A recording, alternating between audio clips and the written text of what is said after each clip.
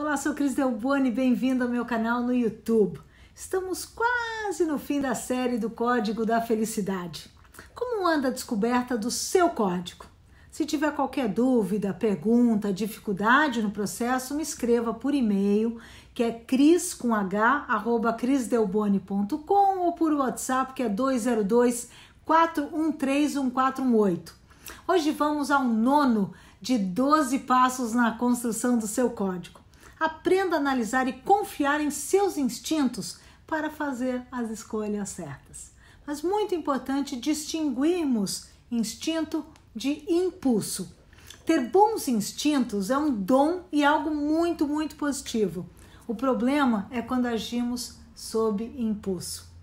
Normalmente isso acontece quando não pensamos antes de agir, então acredite, confie em seus instintos, mas tenha muita cautela nas decisões impulsivas que podem ter consequências dramáticas.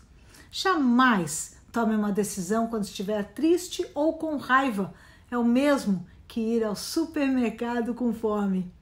Qual a sua taxa de felicidade hoje, de 1 a 10? Até semana que vem.